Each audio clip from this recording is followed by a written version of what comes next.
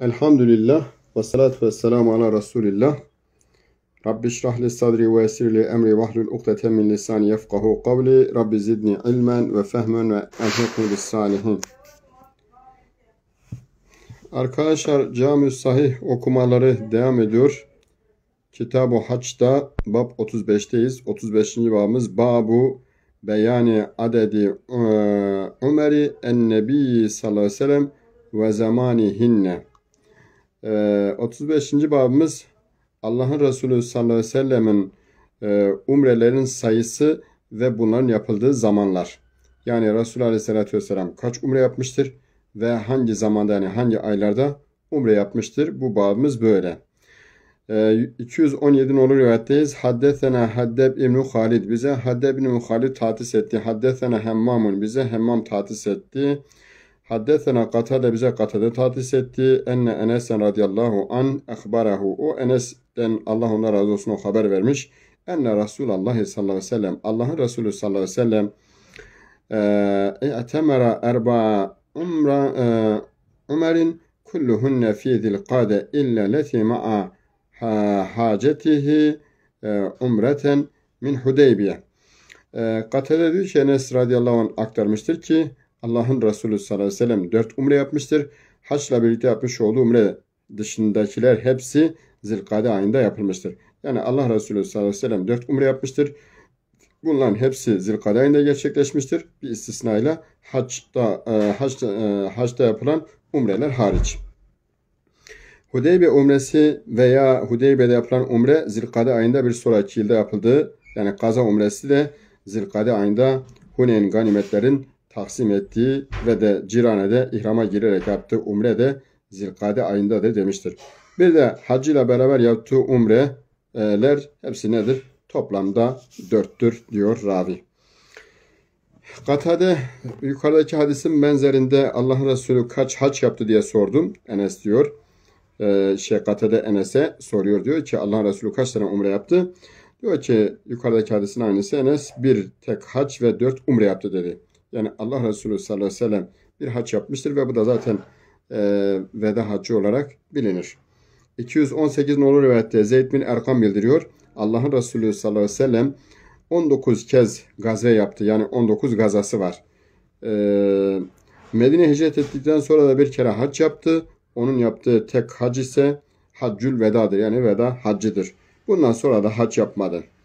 Ebu İshak Es-Salebi ise Allah'ın Resulü sallallahu aleyhi ve sellem Mekke'den hicretten önce başka bir hac yaptı demiştir. Ama umumi anlamda e, Resulullah Aleyhisselatü Vesselam'ın bir hac yaptığı bilinen bir durumdur.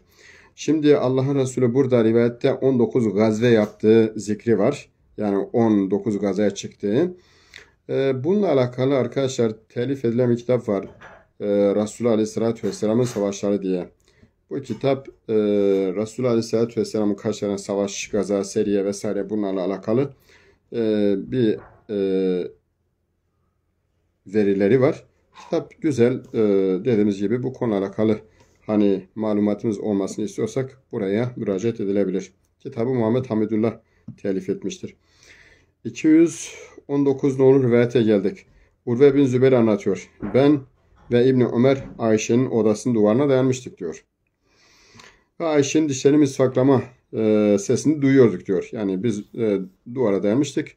E, Ayşe validemizin misvak kullandığı bize geliyordu diyor. Yani sesi bize geliyordu. Ben İbn Ömer'e ey Abdurrahman'ın babası diye sordum. Yani bu İbn Ömer'in künyesi e, Ebu Abdurrahman. Yani Abdurrahman'ın babası. Resulullah Aleyhisselatü Vesselam Recep ayında umre yaptı mı diye sorduğumda İbn Ömer evet cevabını verdi.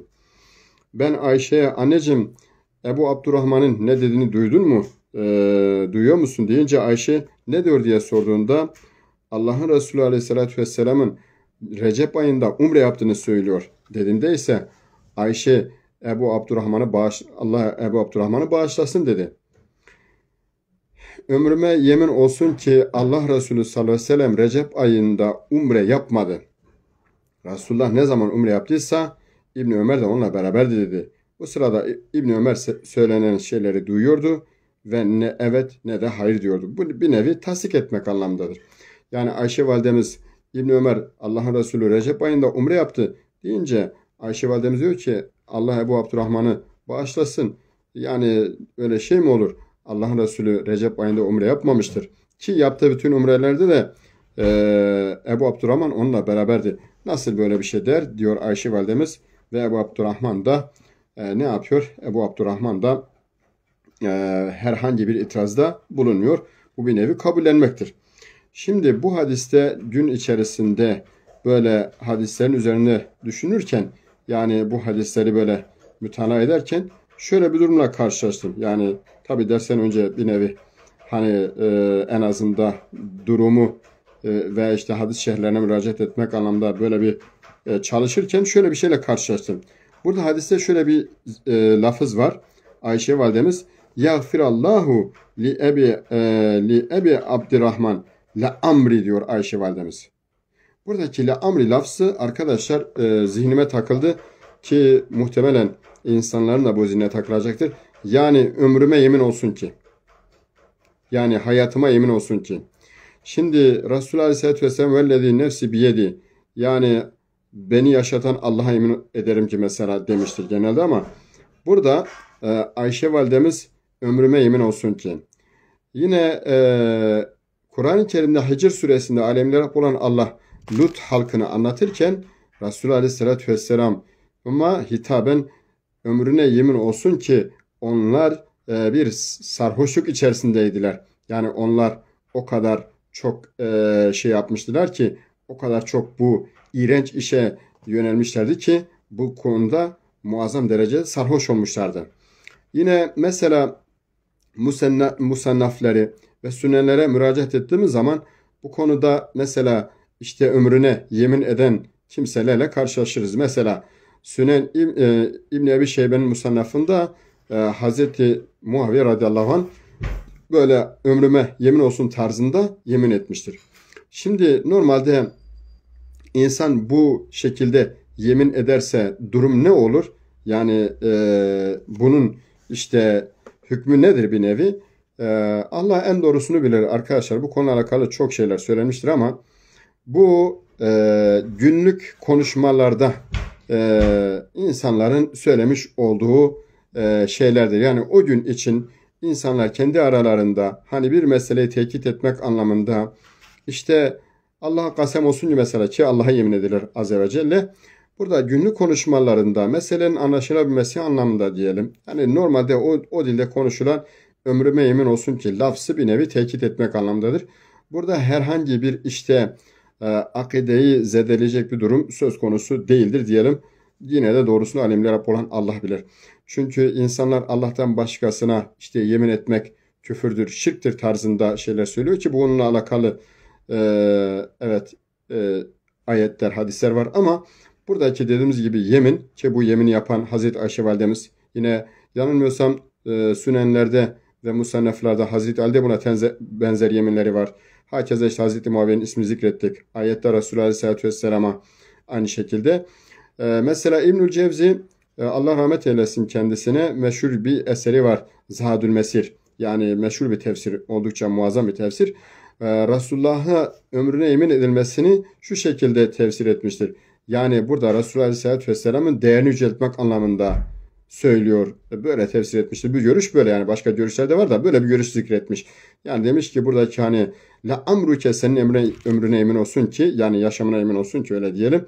Bu Resulullah Aleyhisselatü Vesselam'ın kadri kıymetinin yüceliği anlamında söylemiştir diyor İbnül Cevzi. Dediğimiz gibi işte burada da Hazreti Ayşe validemize ömrüme yemin olsun ki e, Resulullah Aleyhisselatü Vesselam Recep ayında hani umre yapmamış tarzında söylüyor. Dediğimiz gibi bu o zaman için günlük dilde kullanılan bir tabirdir diyelim ve yine doğrusunu alemler olan Allah bilir diyelim. 220 nolu rivayete geldik. Ve haddetsena İshak İbni İbrahim'e bize İshak İbni İbrahim tatis etti. Akbarana Cerirun bize Cerir tatis etti. An Mansur o da Mansur'da an Mücahit o da Mücahit'te karedi ki dehaltü ena ve Urve İbni Zübeyir el mescide. Diyor ki Mücahit e, Urve İbni Zübeyir ile birlikte mescide girdiğimizde. Mescide girdik öyle diyelim. E, Fe izâ Abdullah İbni Ömer calisun ila hücretin Aişete ve nasu yusalunne duha fil mescid. Ha şimdi burada da başka bir mesele var. Diyor ki biz böyle mescide gittik ya. İbn Ömer Ayşe'nin odasının duvarına yaslanmış bir şekilde oturduğunu gördük. Ee, orada da bazı insanlar kuşluk namazını kılıyorlardı. Yani e, İbni Ömer, Hazreti Ömer'in oğlu mescitte böyle sırtını duvara dayanmış duruyor. Ee, insanlar da orada kuşluk namazını kılıyorlar diyor ravi. Ya Ebu Abdurrahman. Aha, şöyle diyor Ebu Abdurrahman. Ee, Fesalnahu an salatim. Diyor ki biz bu namazla alakalı sorduk. Hani insanların kılı bu namaz neyin nesidir? Yani bu namaz e, kılıyorlar da bu nedir? İbn Ömer çok e, muazzam bir cevap veriyor. Bugün için en azından ürkütücü bir cevap veriyor. Fekale dedi ki e, İbn Ömer radıyallahu an huma e, fekale bid'atun dedi ki bu bidat bir namazdır dedi. Fekale lehu urve ya Ebu Abdurrahman kemi umrete Resulullah sallallahu aleyhi ve sellem. Şimdi burayı tekrar da döneceğiz. Önce hadis aktaralım. Dedi ki e, Urve ey Abdurrahman'ın babası yani İbn Ömer'e kastederek Allah Resulü kaç tane umre yapmıştır dedi. Kaç umre yaptı veya fekale erba umreti e, Umar'in. Dedi ki dört tane umre yapmıştır dedi. İhtahunne fi recebi e, e, fekerihna enne tükezzibuhu ve neruddu aleyhi. Diyor ki o dört umre yaptı ve birinde Recep ayında yani bir tanesi Recep ayında olmak üzere dört umre yaptı. Karşılığını verdi. Böyle deyince onun bu sözü bizim e, hoşumuza gitmedi. Yani biz bu sözü böyle bir şey olur mu tarzına böyle ne yaptık? E, reddetmek istemedik. Hoşlanmamakla beraber reddetmek istemedik diyor. Bir ara diyor müminlerin annesi Ayşe validemizin dişlerini misvaklama sesini işittiğimizde Urve anneciğim Ebu Abdur Abdurrahman'ın ne dediğini duydun mu diye sordu. Ayşe ne diyor diye sorunca da Urve biri Recep ayında olmak üzere Resulullah dört defa umre yaptığını söylüyor. Karşılığını verdi. Bunun üzerine Ayşe validemiz Allahu Ekber dedi. Allah Ebu Abdurrahman'a rahmet etsin. Oysa Resulullah sallallahu aleyhi ve sellem bütün umrelerin e, umreleri de kendisi bulunmuştur. Recep ayında umre yapmış değildir dedi Ayşe validemiz. Toparlayacak olursak arkadaşlar burada yine bir hususun e, altını çizmekte fayda vardır. E, şimdi burada İbni Ömer'in yanına giriyorlar. İbni Ömer namaz kılan kimseler var. İbni Ömer radıyallahu anhuma e, duvara dayanmış oturuyor. Bu namaz kendisine sorulduğu zaman bu kılınan namaz kuşluk namazı. Kendisine sorulduğu zaman İbn Ömer diyor ki bu bidat bir namazı diyor. Yani bidatta kasıt biz neyi anıyoruz? E, en az bugün için bizim anladığımız şey dinde aslı olmayan şeydir. Böyle diyelim yani dinde aslı esası yoktur. E, bizim bugün bidatte anlayışımız budur. Yani bidat denildiği zaman anlamamız gereken şey şu. Dinde aslı olmayan şey demektir. Peki burada İbn Ömer'in demiş olduğu bu namaz bir bidattır. Böyle mi anlaşılması gerekiyor? Eğer bu dediğim şekilde ise yani bidatı biz böyle algılıyorsak o dönem içinde böyle kullanıyorsa evet doğrudur. Ama o günkü bidat farklı bir anlamda bugünküyle e, karşılaştığımız zaman karşılaştırdığımız zaman başka bir anlamda kullanılıyorsa bu durumda e, hemen hüküm vermek doğru olmaz.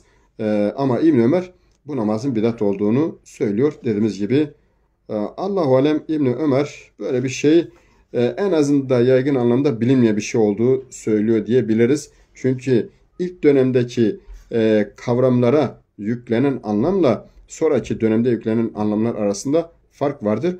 Bunlar göz önünde bulundurarak hüküm vermek e, gerekir.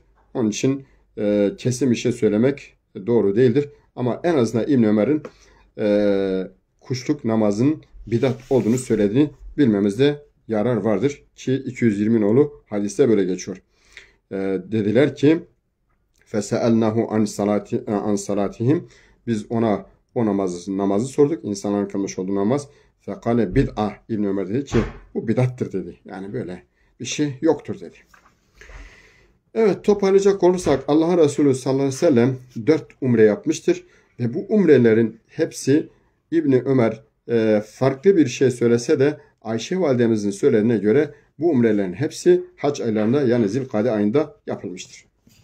Geldik 36 nolu baba. Babu fadlil umreti fi Ramazan. Ramazan ayında umrenin fazileti babı. Yani Ramazan ayında umre yapmanın fazileti sevaplı olması babı. 221 nolu rivatteyiz. Ve haddetheni Muhammed İbni Hatim İbni Meymun. Bana Muhammed İbni Hatim İbni Meymun hadis etti. Haddethena e, Yahya İbni Said bize Yahya İbni Said hadis etti.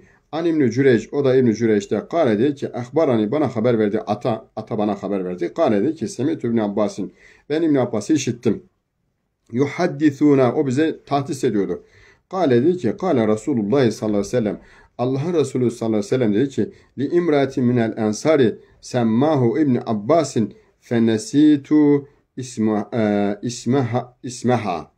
İbn Abbas diyor ki Allah Resulü Ensar'da bir kadının, bir hanımın e, ismini zikretmiş fakat ben onun ismini unuttum diyor. Yani kadın ismini söylemişti ama ben kadın ismini unuttum. Bizimle beraber hac yapmada seni alıkoyan şey nedir diye sordu kadına. Ma mena'aki en tuhacci ma'ana. Bizimle beraber senin hac etmene engel olan nedir? Galet dedi ki kadın. Lem yekun lena illa nadice nadihani fehacce ebu valideha ve ibneha ala nadihi ve terek ve tereke lena nadihan nandihu aleyh dedi kadın. Yani kadın dedi ki bizim bahçeyi sulayan iki devemizde başka devemiz yoktur. Bu kadın çocuğun babasıyla bu kadın oğlu yani kocasıyla oğlumu sulama devesinin birine binip hacca gittiler. Birisi de bahçemizi sulamamız için bize bıraktılar dedi. Resulullah Aleyhisselatü Vesselam dedi ki câe Ramazan fe'temiri fe inne umreten fihi ta'dilu hacce. Resulullah dedi ki Ramazan geldiğinde yani Ramazan ayı geldiğinde sen o ayda umre yap. Umre yap. Çünkü Ramazan ayında yapılan umre hacca denktir. Hacca muadildir dedi. Yani şöyle hac normalde farz olan bir ibadettir. Dolayısıyla Ramazan ayında yapılan umre dedi Allah Resulü sallallahu aleyhi ve sellem nedir? Ee, hacca denktir dedi. Yani bunun kıymeti harbiyesini bilmek gerekiyor ve bu anlamda bu noktada e, müteyakkız yani dikkatli olmak gerekiyor. İşte Allah Resulü aleyhissalatü vesselam da bu ensari kadına diyor ki e, Ramazan'da umre yapmak hacca denktir dedi Allah'ın Resulü sallallahu aleyhi ve sellem. 222 olur rivatteyiz. İbn Abbas bildiriyor. Allah'ın Resulü sallallahu aleyhi ve sellem Ensar'da Ümmü Sinan adında yukarıdaki rivayette bu kadın ismini unutmuştu. Fakat burada Ümmü Sinan adında bir kadına bizimle hac etmene engel olan şey nedir diye sorunca kadın kocasını kastederek filanın babasına ait olan e, iki su devesi onunla beraber devenin biriyle hacca gitti. Diğer e, diğer deve ise su işinde kullanılıyordu dedi. Bunun üzerine Allah Resulü sallallahu aleyhi ve sellem buyurdu ki Ramazan ayında yapılan bir umre bir hacın veya benimle birlikte e, edilecek olan bir hacın yerini tutar dedi Allah'ın Resulü sallallahu aleyhi ve sellem. Evet 36 nolu bapta görebildiğimiz kadarıyla Ramazan ayında umre yapmanın fazileti büyüktür. Ki zaten Ramazan ayında e, yapılan bütün e, ameller Allah katında e, kıymeti harbiyesi olandır. Onun için Ramazan ayında biz kullara düşen mümkün olduğu kadar e, salih amelleri çoğaltmaktır. Bu anlamda zirveye varmaktır. Allah bizleri e, salih amellerde birbirleriyle yarışa giren kullardan kılsın. Geldik 37 nolu baba. Babu istihbabi duhuli Mekke'te min seniyetil ula ve huruci minha min seniyetil sufla ve duhuli beledihi min tariki gayreleti haraca minha. Mekke saniyetül ulada yani yüksek yerde girip saniyetül suflada çıkmanın yani e, aşağıda olan bölgede çıkmanın ve herhangi bir belde çıkış yolunda başka bir yola girmenin müstahaplığı yani müstahap olması babı. 223 nolu rivayete geldik. Haddesene Ebu Bekir bin Ebi Şeybe. Bize Ebu Bekir bin Ebi, bin Ebi Şeybe tahsis etti. Haddesene Abdullah İbni Nümer. Bize Abdullah İbni Nümer tahsis etti. Ve haddesene İbni Nümer. Bize İbni Nümer tahsis etti yine. Haddesene Ebi. Bana babam bize babam tahsis etti. Haddesene Ubeydullah. Bize Ubeydullah tahsis etti. An Nafi o da Nafi'de. An İbni Ömer. O da İbni Ömer'de. Enne Resulallah Resulallah sallallahu aleyhi ve sellem. Allah'ın Resulü sallallahu aleyhi ve sellem kâne yahrucu min tariki şecereti ve yedhulu min tarikil muarrasi ve izâ dehale Mekke dehale min saniyetil ula ve yahrucu min saniyetil sufla. İbn Ömer diyor ki Allah Resulü hac için Mekke'den çıkarken şecere yolunu tutarak çıkar. Dönüşte ise yani Medine'ye muarese yoluna girerdi. İbn Ömer de der ki dedi ki Allah'ın Resulü Mekke'ye gireceği zaman yukarıdaki yolda girer. E, Mekke'de çıkacağı zaman da aşağıdaki yolda çıkar diyor İbni Nümer. Bu hadis başka bir isnatla rivayet olmuştur. Bahta tarafında bulunan Uleyye'den e, lafzıyla zikredilmiştir bu hadis. 224 numaralı rivayete geldik. Ayşe validemiz diyor ki Allah'ın Resulü sallallahu aleyhi ve sellem enne nebiye sallallahu aleyhi ve sellem lemma ca'a ila Mekke'te dehalah min a'laha ve haraca min esfaliha. Diyor ki Resulullah aleyhissalatü vesselam Mekke'ye geldiği zaman üst tarafta girer, çıktığı zaman da alt tarafta çıkar diyor Ayşe validemiz. Bu babda son hadis 225 nolu rivayet.